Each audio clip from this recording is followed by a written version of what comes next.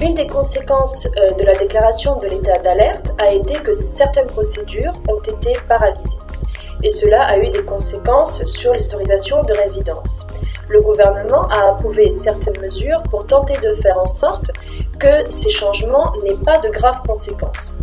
L'une d'elles est que les cartes de séjour qui expirent pendant l'état d'alerte, c'est-à-dire du 14 mars au 21 juin, ou qui ont expiré dans les trois mois précédents, c'est-à-dire trois mois avant le 14 mars, seront prolongées pendant six mois après la fin de l'état d'alerte, jusqu'au 21 décembre.